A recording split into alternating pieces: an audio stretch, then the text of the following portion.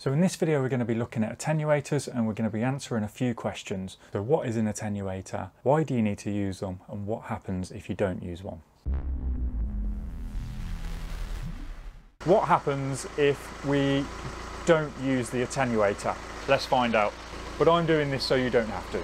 So attenuators have two main functions and we only really rely on one of those for automotive use. So the main function is for reducing the input voltage on the scope to protect your oscilloscope and the other use which is mainly used in electrical engineering is for measuring high frequency signals and you might need to come across this feature when measuring FlexRay.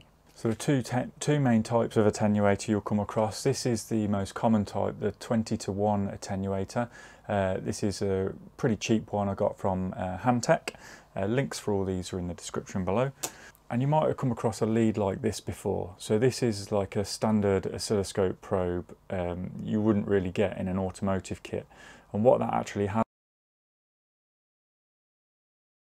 So the basic idea is that it would reduce the input voltage to the scope by a factor of 20 or a factor of 10 if you were using this lead. So what the attenuator is actually made up of is a couple of resistors, actually one in line and one in parallel to the ground side. In fact, if you go and check out a friend of mine's channel, Gadgets playlist, he will show you how to make them. It's quite interesting. So I've connected up to the 12 volt terminals on the car. I've also set it to 20 volts on the uh, oscilloscope scale. And you can see there we've got a flat line at 12 volts, 12.4 to be precise. So now what I'm going to do is I'm going to get this attenuator and it's just a BNC connection. Unplug the lead, plug the attenuator on. And what we can see now is that the voltage has been reduced quite a bit. So if we just get that cursor there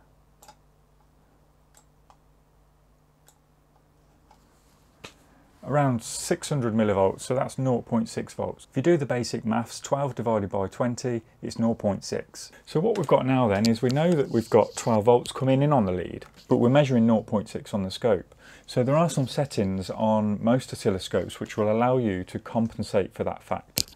So if we just go into the channel A probe settings, and here we've got times 20. You'll see there there's times 10 as well for if you're using the times 10 probe. So if we select the times 20, we can see there that we're pretty much back at what we were measuring before, 12.59 volts. So pretty accurate. So if you want to see more videos about automotive oscilloscope diagnostics, make sure you subscribe. That way you'll be able to get down in the comment section and ask any questions you've got. So other places that you uh, need to use these little things is anything that really exceeds the input amount of your oscilloscope. So we said this was 20 volts. Uh, your 4425A, so your, your picoscope automotive uh, scope, that will go up to 200 volts. So you, you, there's not many times you, you would actually need one of these and I think the maxi scope that goes up to about 100 volts input. The old 62, 6022BE that I used the other day that had a maximum input of 35.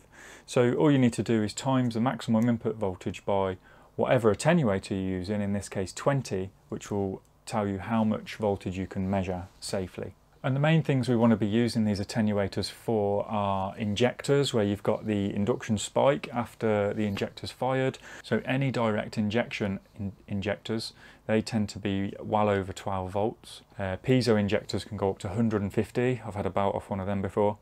Um, and the petrol direct in injection injectors.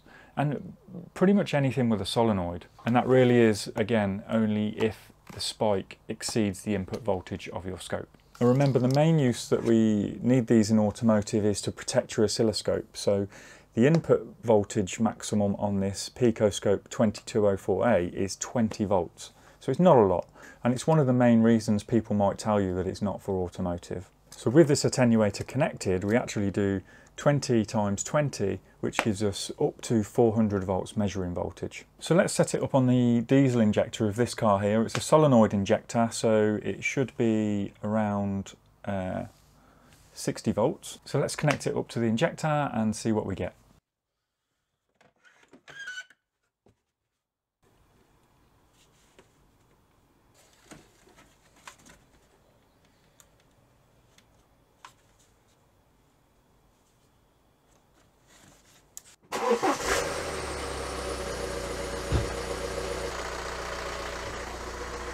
Okay, so we've got the attenuator connected and we're connected up to the injector. I'm just going to get the trigger on here.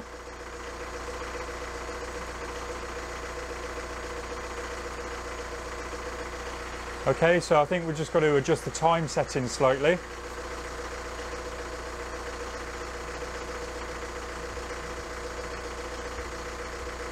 Okay. So I removed the probe settings on the scope. So we're back to the times one and we can see there that we've only got about two volts going into the front of the probe. Now we know that there's way more than two volts to activate those injectors. So let's change it to a times 20 probe.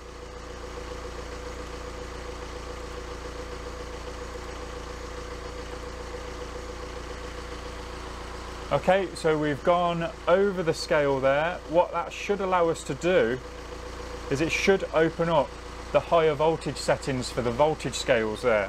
You can see now we've got up to 100, 200, up to 400 volts, like we just said. So I'm going to select 100 volts. And there we go.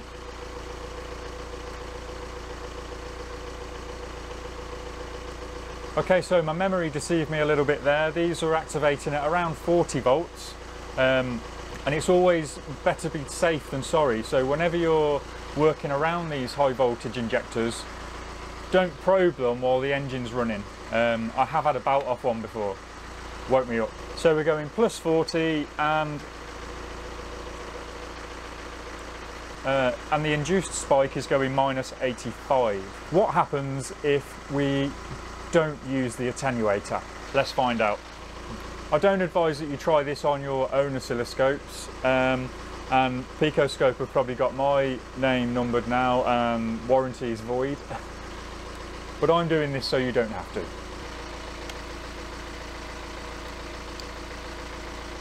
Okay. All right. So we do have some measurements there. Let's remove the probe settings and go to 20 volts. We can see there that it's not very happy with what's going in there. So let's just pause it and see what we've got. Scroll back through. We see there look but it's not picking up what's coming into the scope. The scope's not capable of measuring that high voltage. And that's exactly why you need one of these. So we saw there that actually um, it it was okay and I've exceeded the input voltage of this scope a number of times and it survived. And I do remember seeing somewhere that they, they do actually engineer them to withstand a sustained voltage above the maximum uh, for a short period of time. But if, if you're going to connect that up to a permanent 40 volts and just leave it there and I can't see it was it would last very long.